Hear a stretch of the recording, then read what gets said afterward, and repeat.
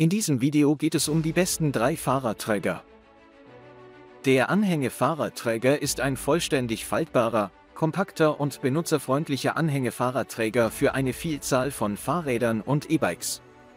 Selbst schwere Fahrräder können mühelos geladen werden, und mit der optionalen Laderampe wird dies noch einfacher. Mit diesem robusten Fahrradträger haben Sie vollen Zugang zum Kofferraum, auch wenn die Fahrräder geladen sind. Falten Sie den Fahrradträger zu einer kompakten Größe zusammen und verstauen Sie ihn im Kofferraum, perfekt für spontane Fahrradabenteuer. Jetzt direkt sparen, der Link zum Produkt ist unten in der Videobeschreibung. Der zweite Platz geht an den Preis-Leistungssieger. Innovativer Fahrradträger für Radtouren oder Urlaubsreisen, klappbares Design, analoge Beleuchtung und robuste Materialien garantieren Sicherheit und Funktionalität in einem Paket. Geeignet für zwei Fahrräder mit einem Radstand von bis zu 1300 mm und einem Rahmendurchmesser von 80 mm, auch für E-Bikes und Pedelecs geeignet, maximale Traglast von 60 kg. Die praktische neigbare Funktion ermöglicht einfachen Zugang zum Kofferraum des Autos, auch wenn er voll beladen ist, da er klappbar ist, kann er leicht zu Hause oder in der Garage verstaut werden.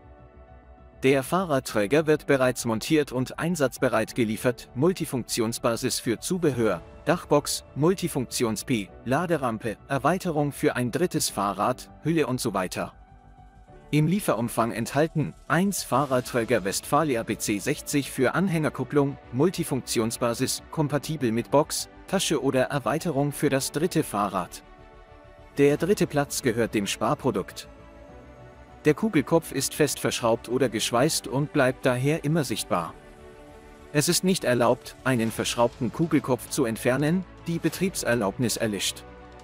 Wenn Ihr Fahrzeug eine Einparkhilfe hat, kann in den meisten Fällen keine feste Anhängerkupplung installiert werden. Der Kugelkopf eines abnehmbaren Systems kann entfernt werden. Es gibt zwei Systeme, das automatische System und das Hebelsystem. Der Kugelkopf wird durch einen Verriegelungshebel oder ein Drehrad freigegeben. Das Drehrad wird herausgezogen oder gedrückt und dann in Richtung des Fahrzeugs gedreht, bis es einrastet. Der Kugelkopf kann dann entfernt werden. Um den Kugelkopf zu fixieren, wird er eingedrückt und in die Aufnahme gesteckt, bis das Drehrad wieder zurückgeht. Der Kugelkopf sitzt dann wieder fest in der Halterung. Mit diesem System besteht in der Regel die Möglichkeit, den Kugelkopf zu verriegeln. Bei diesem System wird der Kugelkopf entfernt, indem ein Hebel geöffnet wird. Der Hebel muss sich wieder einrasten, damit der Kugelkopf entfernt werden kann.